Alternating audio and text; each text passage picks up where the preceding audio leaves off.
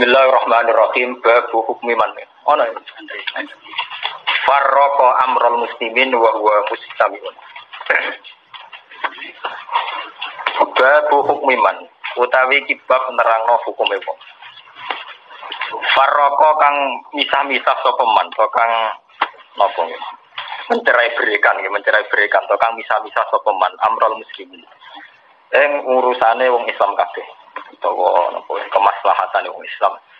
Wa wa te amrul muslimin mustami niku lagi kumpul, lagi sepakat, lagi bersatu. Haddatsani Abu Bakar bin Nafi' Muhammad bin Bashar qala Ibnu Nafi' haddatsana Gundar. Wa qala Ibnu Bashar haddatsana Muhammad bin Ja'far haddatsana Syuba an Ziyad bin Ilaqah qala Sami itu arfajah qala sami itu Rasulullah sallallahu alaihi wasallam yaqul Innahu satakunu hanatun wa hanatun. Faman aroda ayu farriqa amro hadhil jamaah wa iya jami'un fadribuhu bisafka inan mangkana. Innahu saat temne kelakuan satakunu bakal ono apa hanatun apa prahara atau fitnah prahara ngono macam mana. Apa hanatun apa prahara. Hana itu artinya syururun mutabiat mutatabiat satu kejelekan sing bertuli-tuli bertubi-tubi wahana tunan prahara Faman mongko te sapane wong.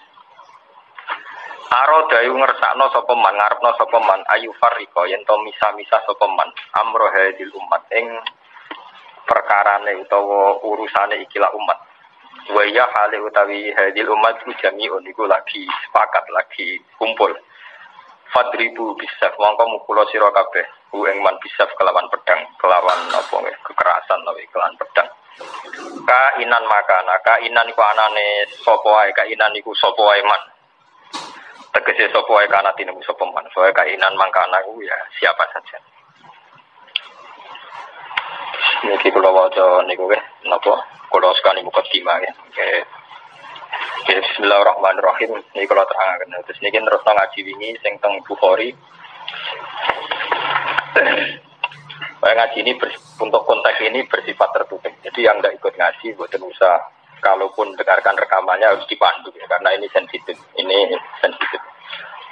Hadis fitnah itu dimulai dari tragedi-tragedi yang akan dialami umat Islam.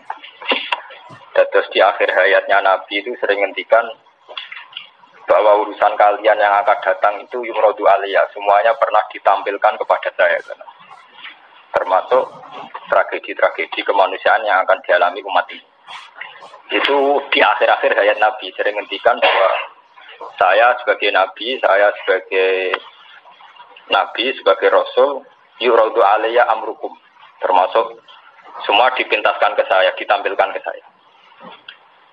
Jadi sehingga Nabi melihat umat akan mengalami apa itu ya kayak melihat video, melihat TV. Termasuk tragedi KBPT Said Husain. Nah, ketika itu sudah menjadi keputusan Tuhan, keputusan Allah, Nabi itu hanya bisa memandu secara syariat.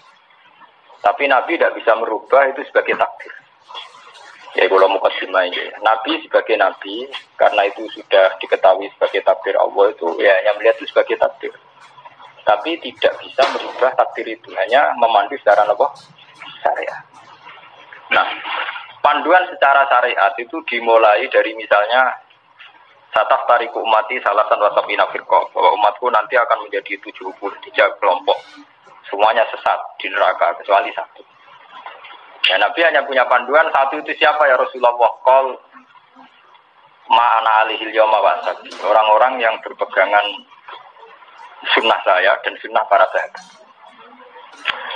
Nah, mohon Itu banyak hadis-hadis di akhir hayatnya Nabi itu sering pesen begitu. Nah, coba tengah sini jangan kalkulasi malih. Ini kan teng Bukhari diterangkan. Ketika banyak fitnah, itu ketika Nabi ini kan dipandu talzam jamaatal muslimin. Kita harus ikut mayoritas. Ini rumah tenan. Apa pun kecewa sampeyan terhadap komunitas tertentu atau partai tertentu atau ormas tertentu, kita harus ikut mayoritas. Mengenai kalau ngaji temu putih saya bilang, saya sebagai orang alim, kemungkinan saya itu kalau tidak NU ya Muhammadiyah. Selagi NU Muhammadiyah itu mayoritas, ya saya kalau tidak NU ya Pak Muhammadiyah. Partai juga gitu, saya ikut partai yang mayoritas, yang mainstream, yang umum-umum. Karena bisa dihitung ya. Kalau setiap kebenaran itu diekspresikan lewat partai atau lewat ormas tertentu, berapa sih kebenaran bisa kita lakukan? Kita tidak usah nyebut contoh ya. Misalnya, sampean meyakini satu kebenaran A dan B, kemudian bikin partai. Paling panter kamu sebagai manusia atau hanya bisa melakukan A dan B. Ada partai tertentu yang ingin memperjuangkan kebenaran tertentu. Paling banter hanya memperjuangkan satu dua bentuk kebenaran. Nah, masalahnya ketika semua ini punya ruang gerak untuk bikin kelompok, kelompok ini akan menjadi banyak dan gak terkendali. Semuanya punya bendera sendiri, punya partai sendiri, punya ormas sendiri. Coba sekarang tuh sama kalau melihat di berita-berita, berapa kelompok yang atas nama karena Nabi serbanan hitam merasa harus serbanan hitam. Karena ada riwayat bahwa Nabi itu pilokan, terus kemudian mereka kalau sudah pakai pilok merasa mengikuti sunnah Nabi. Yang nggak pakai pilok, enggak. Memang Nabi itu pakai semir. Dulu semua riwayat mengatakan Nabi Abu Bakar semua itu pakai semir. Ya gaul, Nabi lah itu pakai semir. Dan Nabi gaul pakai semir. Tapi semir yang sunat itu memang merah. Di kitab kita pakai semir yang sunat apa? Lagi sih nanti ngaji pakai semir nggak malah rawan haram tuh. Yang sunat apa? Nah, jadi misalnya dari KNO atau semir ada apa ke daerah dua? Gaul lah. Akhirnya ada kelompok tertentu niru semirane Nabi itu sebagai kelompok tertentu. Begitu terus. Nah itu kalau kita turuti itu akan menjadi faksi-faksi, menjadi faksi-faksi kelompok-kelompok kecil yang akan menyulitkan. Sebab itu Nabi mandu kalau sudah fitnah banyak itu talzam jamaatul muslimin. Kamu harus ikut mayoritas. Coba sekarang misalnya menyangkut Jumatan saja. Berapa masjid yang mengharamkan dipakai kelompok lain?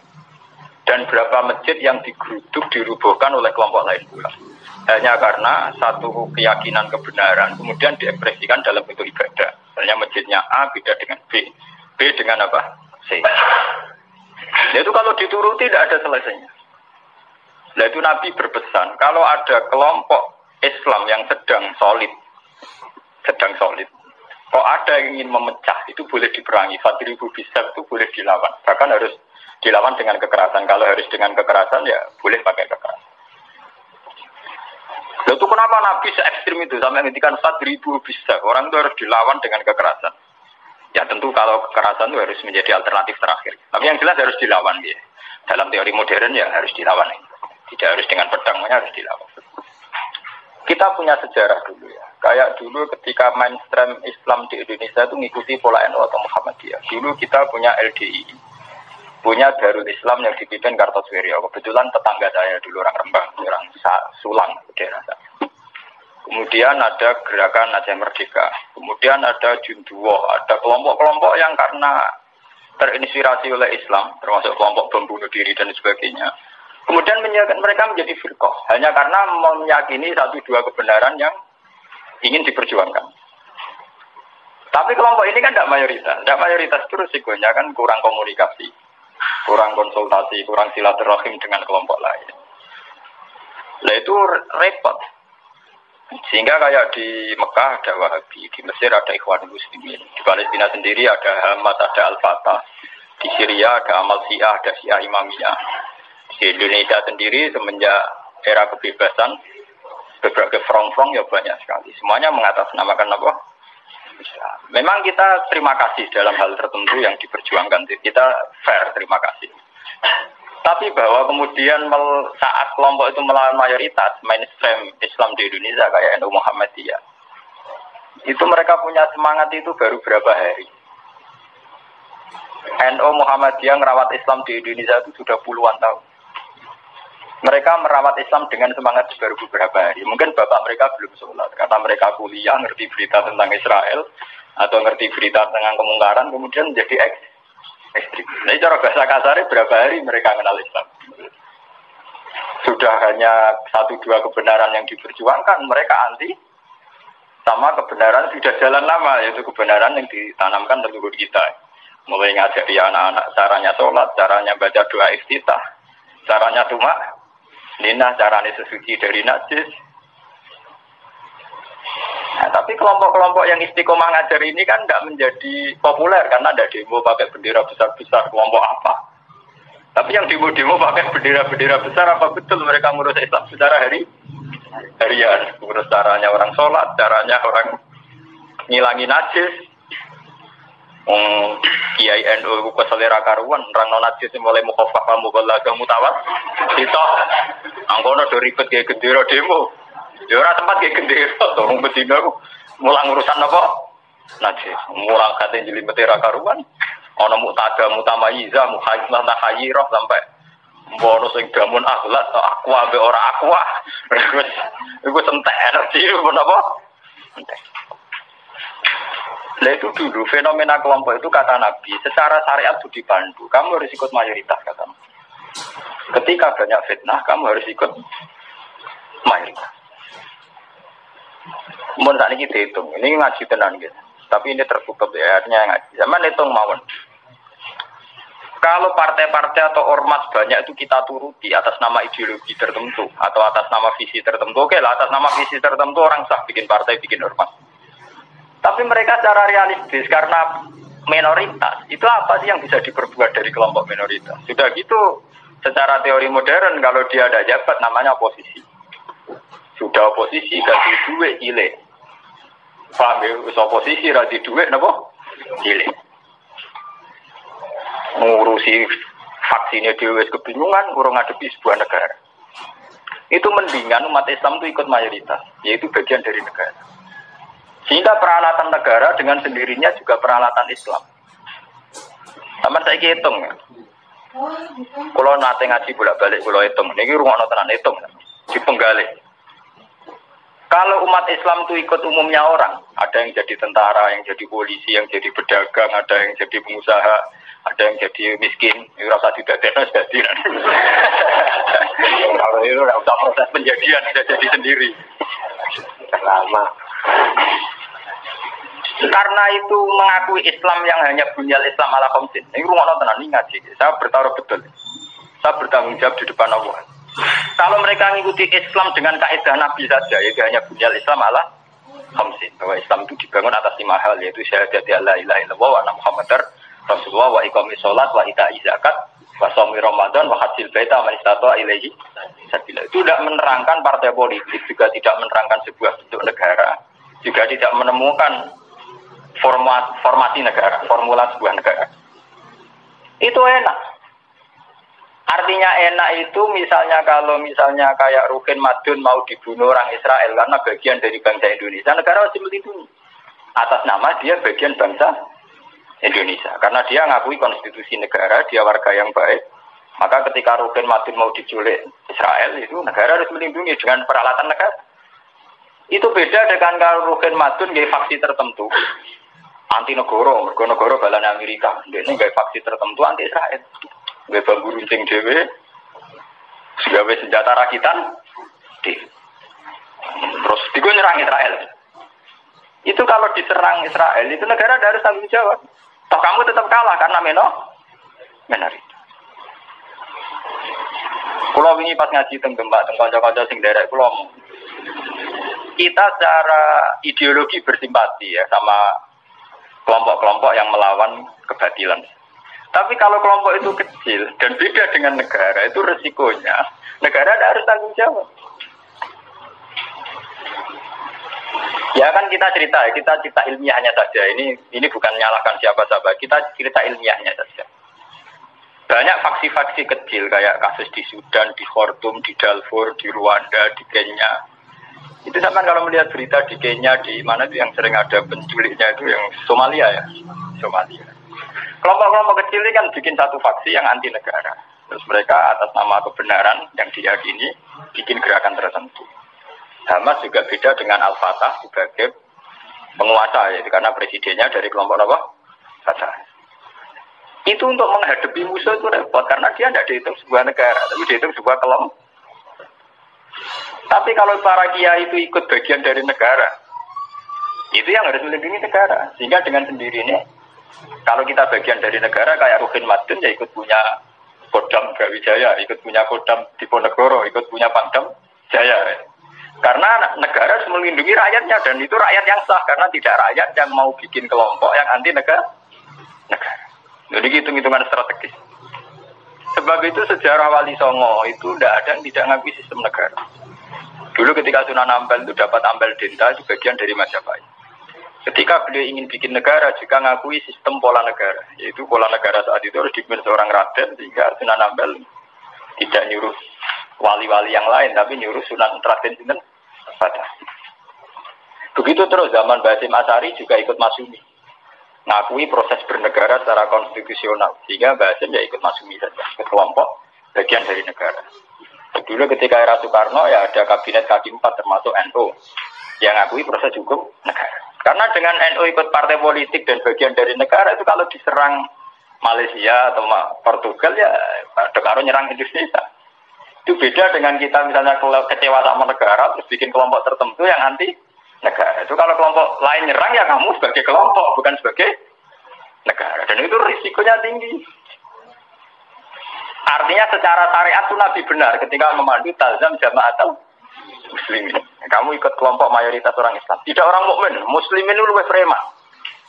Muslim itu ya preman mlebu, gento ya napa? Mlebu, mamane sing kaya kula rapati gento malah mlebu. Nggih karena aturan Islam, kalau dalam terminologi agama, muslim itu kelasnya itu paling rendah, paling umum. Karena kelas pertama itu Islam, terus iman, terus Islam. Makanya di Quran itu qolatil a'rabu amanna. Kullam tu'minu walakin kulu aslam. Nah, contoh Quran qolatil a'rab amanna. Wong desa muni amanah. Sajane urung level e muni amanah, lagi as. Nah, padahal Nabi nyuruh tazam jamaatal muslim. Wis pokoknya malah umumnya wong Islam. Mana kulo pun bolak balik cerita. Saya ini termasuk ulama yang buat nanti sholat tahiyat masjid dua orang. Mereka umum uang rasa sholat ya malah rasa. Saking kulo loh tapi itu tiru. Karena saya begitu berangkat dari muatan ilmu saya gitu Jadi orang krono kaslan tak hitung secara strategi menapa. Nah, toko-toko kulo tak ini kulo diseneng. Wah, cocok ini Gus Ba, umumnya uang. Kulo anggere biasa, marung nang pasar biasa, santai mawon. Nanti bakulnya lagi bangga. Kesuara sering jarang mriki. Aku loh terlalu urusan nono cerita ulama marung muruah ono buan. Pokoknya umumnya wong Islam ku marung ya napa? Marung. Termasuk umumnya kasus tidak-tidak duwe. Akhir gak nemen-nemen. Misalnya nyenengi tonggo selingkuh akhir gak nemen-nemen. Pokoknya saya ngomong-ngomong mah. Ini penting. Kenapa saya mengatakan ini penting? Jika kamu ngitung umat Islam yang soleh saja, maka mayoritas Islam di Indonesia itu hanya dua persen. Paling sing soleh orang Islam hanya dua persen. Jika kamu ngitung yang agak soleh, maka paling jumlahnya 10 persen. Coba kalau kamu hitung, pokoknya yang berKTP Islam, maka jumlah kita bisa 80 persen. Aku seneng darah ini Islam rong persen apa walang pulau persen. Meskipun resiko walang pulau persen, sini keramat tungkak, sini doli, Islam gak apa KTP ini. Ya, dulu kalau Jakarta kan keramat tungkak, kalau Surabaya do di Jogja Bunti, pasar kembang, pasar. nah kalau nanti penelitian, kalau ini kan termasuk di itu memang resikonya dihitung kabeh itu yang melebu kan. Tapi kamu bisa 80 persen. Sehingga karena jumlah mayoritas 80 persen dengan ngitung WTS, lonte, gento dan sebagainya, itu tetap menjadi mainstream. Presiden harus Islam karena dihitung 80 persen. Coba kamu nuruti kesalahan sepihak, maka Islam jumlahnya hanya dua persen. Maka berarti presiden cek kafir, cek Kristen nggak masalah karena jumlah umat Islam itu orang per. Ya ini buat anggap Islam ra penting, Islam ra kanggu, mergo WTS. Ya, tapi akhirnya gara-gara rabu itu jumlah orang Islam mau lima. Resikonya di presiden Kristen itu masalah karena mau dihitung. Coba kalau kamu tetap hitung semua, itu tetap 80 persen. Akhirnya kita tegak sebagai mayoritas. Mayoritas. Samu matun Islam mayoritas sudah ditopang Islam BTS maling dan sebagainya. BDN kiai lah. Kita berdiri tegak sebagai mayoritas itu ditopang Islam Islam jadi dualan sing gendo-gendo. Dari apa kita tegak sendiri? Sebab itu Nabi memandu. Kalau kelompok sudah bulat, itu tetap kita ikut mayoritas. Tazam jamaatan. Itu ngaji kita. Makanya wa huwa mustamiun. Kita masih sepakat bahwa Islam itu harus jalannya bunyal Islam ala komsit. Kita mengikuti panduan hadis sahih bahwa Islam hanya bunyal Islam ala komsit. Yang namanya Islam itu ya hanya syahadat, sholat, zakat, puasa dan haji. Titik. Nah, bahwa, dan ini cerita ilmu sosiologi, bahwa kita ingin punya presiden Islam, bupati Islam, gubernur Islam, itu bawaan psikologi mayoritas. Itu eleng-eleng, bukan ideologi Islam. Saya sebagai ulama bertanggung jawab terhadap mazhab ini. Kita ingin presiden Islam, bupati, gubernur Islam, legislator Islam, itu bawaan kita sebagai mayoritas. Karena kita sebagai mayoritas, tentu presidennya dari kelompok mayoritas, yaitu Islam. Andai kan Islam kita itu di NTT, andai kan Islam kamu itu di Ambon atau di Bali, kamu tidak akan, misalnya Madun, Madun sekarang dibantu. Tersinggung ketika bupatinya ada Islam. Coba kalau kamu ditegur jadi orang NTT. Paling bupati ini Kristen yang penting gak ngebangun masjid. Misalnya Mustafa, begini, hidup di Amerika, dia paling pikirannya kan, dia tidak mensyaratkan presiden Islam, ya nyarat gubernur Islam. Yang penting gak ngusir wong tapi saat dia dia bantu karena mayoritas dia misalkan bupatinya. Itu bukti bahwa keinginan kita punya bupati gubernur Islam itu bawaan mayori, bawaan psikologi mayor, mayoritas, bukan bawaan ideologi Islam. Kalau Islam ya hanya bunyal Islam Allah Homsin. Bangunan Islam ya hanya lima itu. Bangunan iman ya hanya enam itu. Paham ya? Nah, sama nggak usah teruskan. Kalau gitu partai politik Islam penting dan itu sensitif, nah takut ngono sensitif. Mau bolak-balik ngaji ini sensitif. Senengane kok takut sing sensitif. Takut sing umum-umum wae. Misalnya takut sing umum, lah penake piye ketua Islam? Ya di duwe uraan sithik-sithik, nas dosa di sepuro pangeran. Wong di duwe ora dosa to, Tapi mungkin di pangeran. Tapi ini ngaji, ini penting ngaji. Jadi ngaji yang kemarin kan jelas ya ketika banyak fitnah, banyak tragedi, pesannya Nabi Nabi talzam jamaatan. Itu dalam sebuah hadis ada yang lebih ekstrim lagi. Nabi ngetikan waman sadda sadda finnar. Siapa yang ingin bikin kelompok sendiri merasa benar sendiri maka waman sadda sadda finnar. Dia akan masuk neraka. Itu artinya pentingnya sebuah mayoritas. Karena mayoritas ini penting, kan kita akan ikut sesuai umumnya orang. Karena warahmati wasiat kullasya. Kalau kita ngaji secara tasawuf ya warahmati wasiat kullasya. Kulo sering ngaji teng santri-santri. Kulo ada sing ngaji kulo nganti nangis. Kulo ceritani. Kulo niku ulama. Kulo sering numpak mobil pribadi gitu, sering ngebis gitu. Ketemu preman gitu, sering kulo sering lunga dhewe. Tak ceritani.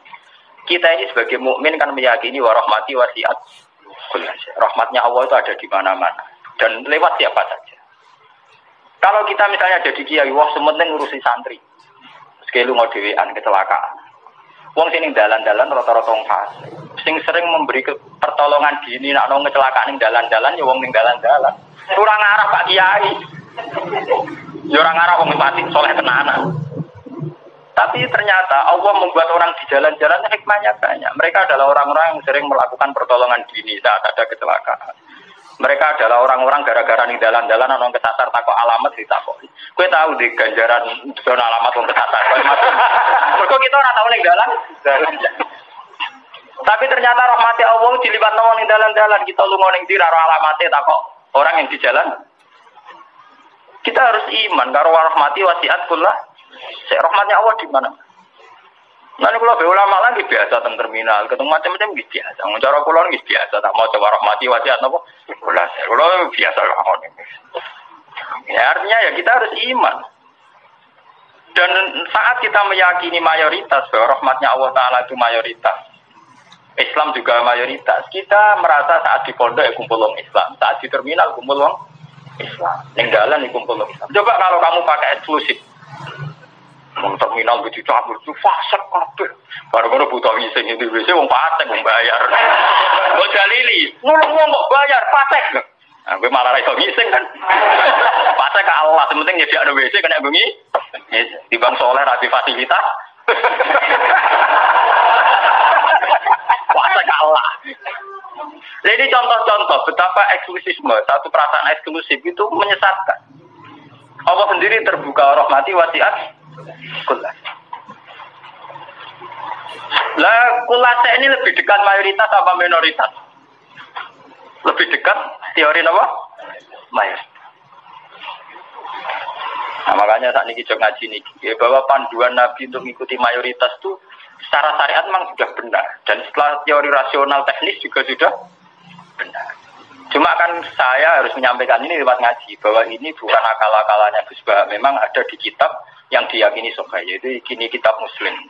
Muslim itu dua kitab yang satu paket dengan Bukhari nopo Muslim. Satu dua kitab yang diyakini sahih setelah kitab buah. Ya dalam keyakinan mayoritas orang Islam setelah kitab buah adalah kitab Bukhari nopo Muslim. Dan lewat kitab sahih ini sampean tahu bahwa panduan mengikuti mayoritas adalah panduannya Nabi. Paham ya? Panduannya sinten? Nabi. Mulane iki iki ngalim-ngalim Jawa juara bejuban. Umumnya wong nganggo hemis nganggo hemis biasa umum umum wong. Karena mereka tahu betul pentingnya mayoritas, pentingnya tradisi mayoritas. Mereka jarang orang-orang alim memaksakan jubahan, maksudnya paling kadang-kadang pas jumatan ben macam, tapi ini mau ya wong tertentu jubarang gitu, wong alim. Narapati ngalim kata, tapi nak jubarang mau dapat wong alim-alim kali beru mesti biasa-biasa lah. Panas. Panas, bener gue ya, tenang. Saya ngomong-ngomong mawon.